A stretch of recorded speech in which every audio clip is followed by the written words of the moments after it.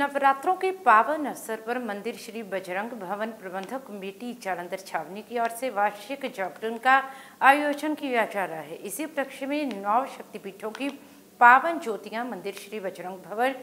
जालंधर छावनी में पहुँची, जहाँ से विशाल शोभा यात्रा निकालेगी जो कि इलाके की परिक्रमा कर पूर्व पार्षद हरविंदर सिंह पप्पू के निवास स्थान पर पहुँची, जहाँ हरविंदर सिंह पप्पू परिवार की ओर से माँ की पावन ज्योतियों को भव्य स्वागत कर आशीर्वाद प्राप्त किया गया। इस अवसर पर गीतांजलि, रितिका, सुरेंद्र सिंह, छिंदा, सूरज, शेजल, शमा, ममता, आशा, सुनीता, भूषण अग्रवाल, राकेश अग्रवाल, अनिल अग्रवाल, पवन अग्रवाल, विजय गोयल, विकास गोयल सहित अन्य भक्तजन भी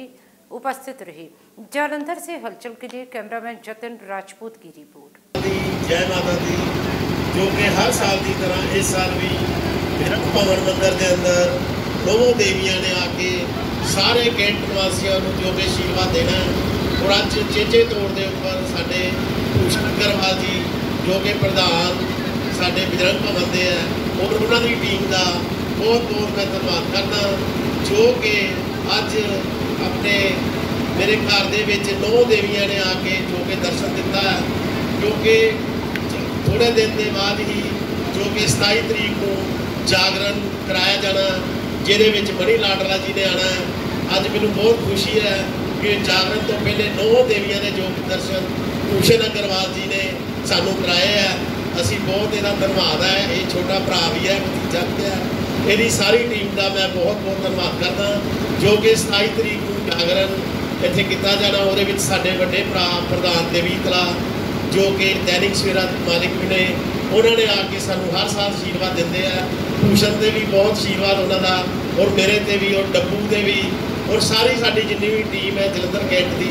ਸਾ, ਆਪਣੇ ਵੱਲੋਂ ਸਾਰਿਆਂ ਦਾ ਮੈਂ ਬਿਰੰਗ ਭਵਨ ਮੰਦਿਰ ਦਾ ਫੇਰ ਭੂਸ਼ਣ ਜੀ ਦਾ ਮੈਂ ਬਹੁਤ ਬਹੁਤ ਧੰਨਵਾਦ ਕਰਦਾ ਜੈ ਮਾਤਾ ਦੀ, ਜੈ ਮਾਤਾ ਦੀ, ਜੈ ਮਾਤਾ ਦੀ। ਜੈ ਮਾਤਾ ਦੀ, ਜੈ ਮਾਤਾ ਦੀ, ਜੈ ਮਾਤਾ ਦੀ। ਨਵਰਾਤਰਿਆਂ ਦੇ ਉਪਲਕਸ਼ ਦੇ ਵਿੱਚ ਮੰਦਿਰ ਸ਼੍ਰੀ ਬੇਰੰਗ ਭਵਨ ਪ੍ਰਬੰਧਕ ਕਮੇਟੀ ਵੱਲੋਂ ਇੱਕ ਭव्य ਸ਼ੋਭਾ ਯਾਤਰਾ, ਜਿਹੜੀ ਨੌ ਪਵਿੱਤਰ ਸਥਾਨ ਤੋਂ ਮਹਾਰਾਣੀ ਦੀਆਂ ਪਵਿੱਤਰ ਜੋਤਾਂ ਜਲੰਧਰ ਕੈਂਟ ਦੇ ਵਿੱਚ ਅੱਜ ਸਾਰੇ ਛਾਵਣੀ ਦੇ ਵਿੱਚ ਭ੍ਰਮਣ ਕਰਦੀਆਂ ਹੋਈਆਂ ਮੰਦਿਰ ਸ਼੍ਰੀ ਬੇਰੰਗ ਭਵਨ ਪ੍ਰਬੰਧਕ ਕਮੇਟੀ ਵੱਲੋਂ ਇਹ ਨਵਰਾਤਰਿਆਂ ਦਾ ਜਿਹੜਾ ਉਪਰਾਲਾ ਹੈ ਇਹ 5 ਸਾਲਾਂ ਤੋਂ ਜਿਹੜਾ ਹੈਗਾ ਇਹ ਚੱਲ ਰਿਹਾ। ਤਾਂ ਨਵਰਾਤਰਿਆਂ ਦੇ ਉਪਲਕਸ਼ ਦੇ ਵਿੱਚ ਅੱਜ